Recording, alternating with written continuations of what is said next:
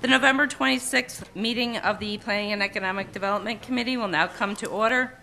Will the clerk please call the roll? Mr. Ansello? Here. Ms. Boyce? Chairwoman DeFlorio? Here. Ms. Cayley? Here. Mr. Moyo? Is there anyone signed up from public, for public forum? There is not. Is there anyone present uh, who is not signed up to speak who would like to address the committee at this time?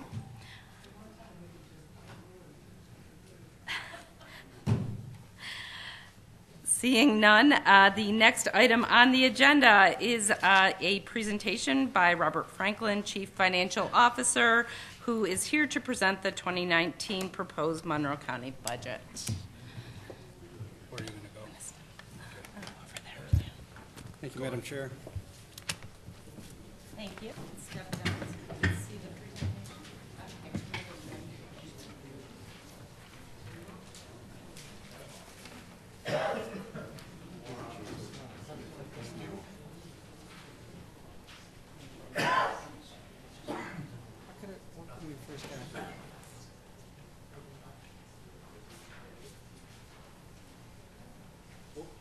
Is it on? Thanks. All right. Thank you, ladies and gentlemen. Thank you, Madam Chair. Uh, In keeping with past practice, we'll keep this as brief as possible. Um, This is tonight's presentation of 2019 budget relevant to the Planning and Development Committee. Uh, Regarding our Department of Planning, you, you may or may not recall that uh, appropriations for this budget year, 2018, were about $228,000 higher than they were in 2017. At that time, the Planning Department had uh, several positions within its Economic Development Division that had previously been uh, vacant and therefore defunded in the budget. Uh, Coming into the 2018 budget, a change was made in support of the county's economic and job development priorities. Those changes continue on into the proposed budget for 2019, Uh, but some recent retirements and some other staff turnover uh, provided a opportunity for a slight reduction in appropriation. So you will see, uh, comparing the 2018 to 2019 uh, budgets, appropriations are down just a little bit. That plus a modest increase in department revenues uh, saved roughly $25,000 in net county support. Not going to spend a lot of time on this uh, particular slide, but the relative funding percentages, you know, they're pretty consistent from year to year. Uh, Grants and the bulk of net county support fund the Planning Services Division, revenue from Imagine Monroe, and the IDC support the Economic Development Division. Um, all but $30,000 of the Community Development Block Grant funds the Community Development Division. And finally, uh, funding from the Workforce Innovation and Opportunity Act uh, through Rochester Works funds our Workforce Development Division. Um, our economic development initiatives in partnership with Imagine Monroe uh, has produced some significant results for Monroe County. American Packaging is a flexible packaging manufacturer uh, servicing the food, beverage, medical, agriculture, and specialty markets throughout the United States. Uh, American Packaging is vesting, investing about $48.3 million in the construction of a 215,000 square foot state of the art manufacturing facility, uh, which should impact about 170 jobs and create 70 new jobs over the next three years. Um, our own Paychex is expanding its operations in Henrietta. Uh, they're working on a $51 million investment to purchase, renovate, and equip five buildings plus a leased building. Overall, that particular project will retain about 770 jobs and create 375 new permanent jobs. And in the uh, budget week uh, for Monroe County, you've heard about the development of the former Kodak facility in Henrietta. It's now Riverwood Tech Campus. Uh, this state-of-the-art technology hub is projected to create over 120 new jobs while retaining over 100 more jobs in Monroe County. And last but certainly not least, uh, Amazon. So while they were looking for a, a new site for headquarters number two, uh, they found an opportunity right here in uh, Henrietta to build a new 80,000 square foot facility that is expected to generate about 25 new jobs within Monroe County. Bridging the gap between economic development and workforce development, a program called Ladders Up launched its Plastics Consortium in 2018. That's a unique model helping local employers in the growing plastics industry cover the cost of employee training. And in 2019, Ladders Up will launch their new HVAC and facilities maintenance consortiums. Also planned in 2019 is an expansion of the uh, successful Recruiting on the Road Job Fair series. Uh, They'll have events to be held in the four quadrants of the city of Rochester. Plus, they'll continue having their anchor events in the outer ring quadrants of the county. Uh, And certainly, last but not least, the planning department is further breaking down its own silos, this time between workforce development and community development with their Make Monroe Home initiative. Uh, This initiative, I think, is pretty cool. It does more than just raise awareness uh, of or provide reports on zombie homes. It's a a unique program that is actually supposed to do something about those zombie homes. Uh, Depending on the unique circumstances of each particular situation, uh, Make Monroe Home can either fix up zombie homes, it can bulldoze them and uh, build afresh. Uh, It's all depend on what meets the best needs of that neighborhood. And once the work is complete, there's a nice buying opportunity for first-time homebuyers and veterans. Uh, So with that, Madam Chair, that concludes the presentation. Be happy to answer questions.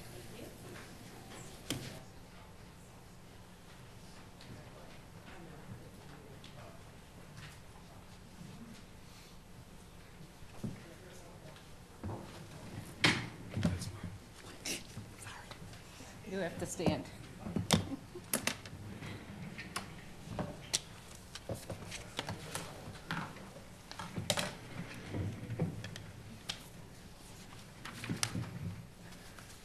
Thank you. Thank you, Mr. Franklin. Uh, We will now uh, take any questions on the budget at this time. Yes, Legislator Insel. Yes, uh, through the chair. Uh, Can you explain the decrease in temporary help of 10,000 uh, to nothing?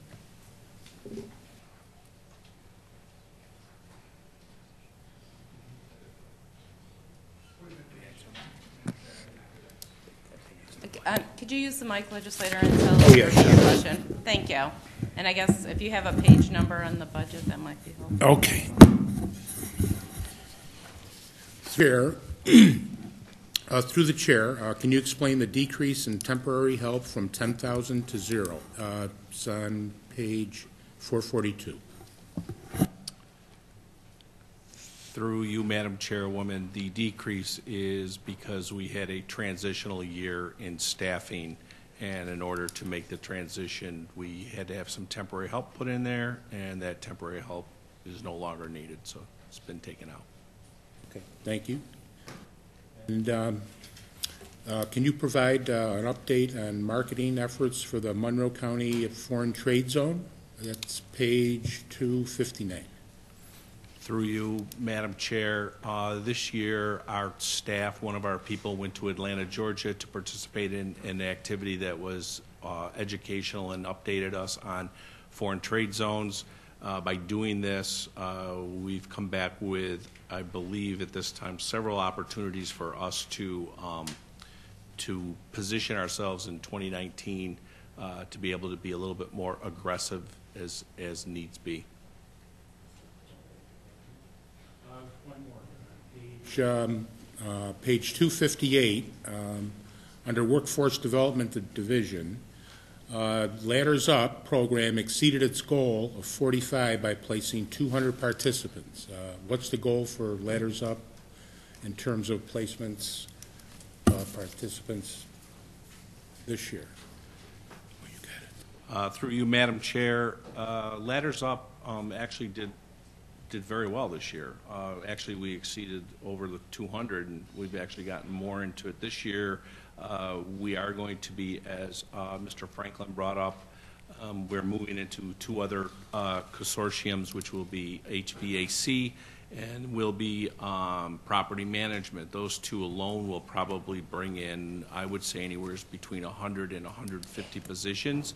Um, There's some, uh, there's some really good uh, companies that are coming to us, uh, looking for more opportunities.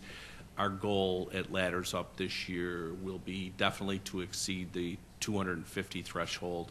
Um, And we, actually, to be honest with you, the way we funded uh, Ladders Up this year allows us to even go higher if we need to. Any other questions? Yes, legislator Moyo. Thank you, Madam Chairwoman. Um, Through the chair, uh, drawing your attention to page 60, 260, excuse me. Um, The cost of economic development is approximately $202,000 more than the transfer from Imagine Monroe and MCIDC. Can that discrepancy be explained?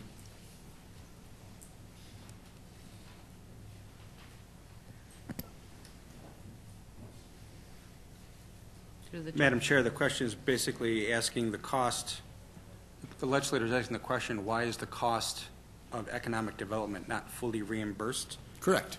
Through the chair, yes. Um, Madam Chair, the cost of the Economic Development Division, uh, at least historically in Monroe County, has never been fully reimbursed by Imagine Monroe, uh, the IDC, or the small amount of funding received by the Community Development Block Grant. Uh, Basically, those uh, other entities, Imagine Monroe and the IDC, are reimbursing uh, the Planning Department for its specific work on initiatives uh, worked by both Monroe County and those entities. Um, If, if the desire was to have the services fully funded, that would be an entirely different conversation. Thank you. Uh, So if I can, I guess, maybe try and transmit what I just think I heard, that uh, the Planning and Economic Development uh, Department does work outside of that which is required under Imagine Monroe and Monroe uh, IDC. That, that is correct, Madam Chair. Um, This division's work is not 100% attributable uh, to any of those entities. Thank you. Okay, that answers my question. I appreciate that. Um, Similarly, through the chair, um, there's a decrease of $40,000 uh, in contributions this year, um, $601,000 in 2018, $561,000 in 2019. Uh, Can I get an explanation for that decrease of $40,000, please? Uh, Madam Chair, uh, that decrease, I'm sorry, I'm just going to clarify, Madam Chair, specifically the $40,000 decrease contribution from Imagine Monroe? Well, they're, well, on the last page, on 260, they're put together. Okay. uh, Through the chair, so I, I guess, No problem, Madam Chair. Um, You know, with the launch of the recent initiatives like Ladders Up, like Make Monroe Home, like Recruiting on the Road, um, our communications department had been working with planning and uh, Imagine Monroe on marketing those initiatives. Uh, As such, there was an additional charge from the communications department to planning for that work, and the intent was to have uh, Imagine Monroe reimburse planning for that specific charge. Uh, Now that those programs seem to be up and running and are uh, moving forward, all that initial lift is behind us. Uh, Communications is not charging, uh, I'm sorry, Imagine Monroe is not being charged that $40,000 anymore. okay. Thank you very much for that. Any other questions? Yes, legislator Ansella. Yes, when is the uh, Amazon Distribution Center set to open? Madam Chair, the Amazon Distribution Center is already open. Thank you. Further- questions? Yes, legislator Kaley. Um, Thank you. Um, Through you, Madam Chair, to the administration. Um, Page 264, last year's budget book, uh, was estimated uh, giving 16 first-time home buyer purchase subsidies, and this year's book estimates we will have given out six. There's a bit of a disparity. I'm wondering, was the 16 accomplished, or is six going forward the goal? I may have read it incorrectly.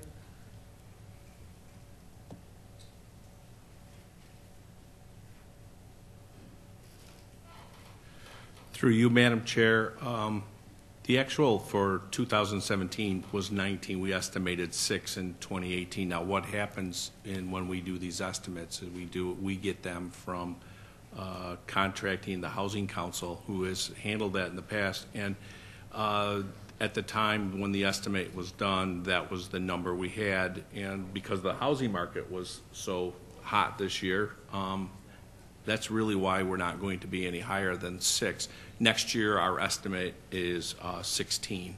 We think it's, we think that there's going to be 16 available, so. Okay, thank you. And then, um, through the chair,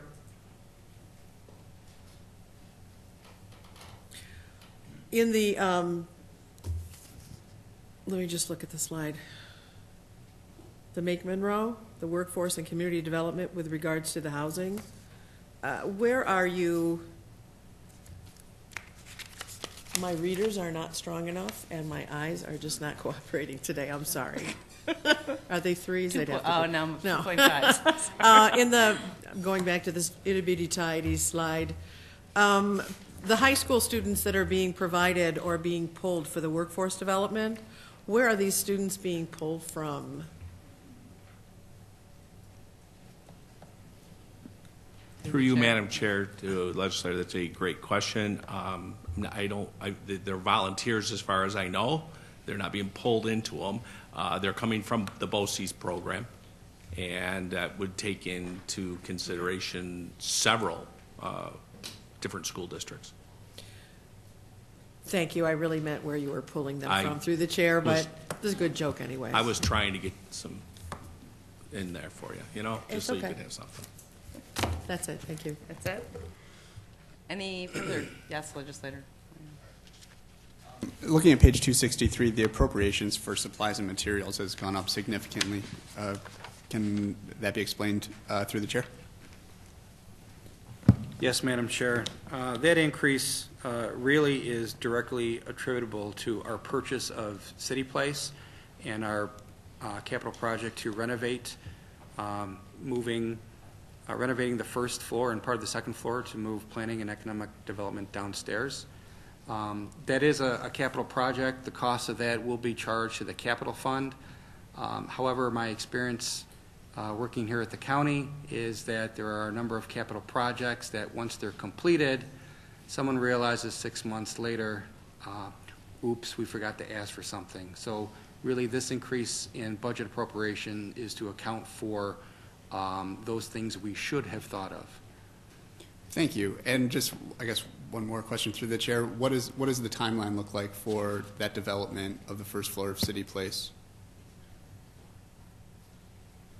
Through you, Madam Chair, uh, I believe we're moving right along, and it looks like it will be probably October or very early in November next year.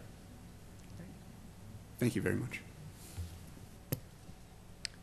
Any further questions on the budget? Seeing none, uh, the next item on the agenda is the approval of minutes. You have the August 27th, 2018 minutes before you. They will stand approved unless the clerk is notified of any changes by the end of the day. Any further matters to come before this committee?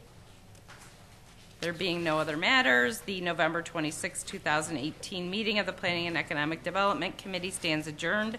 The next meeting of the Planning and Economic Development Committee will be held on Monday, December 17, 2018, at 5:15 PM.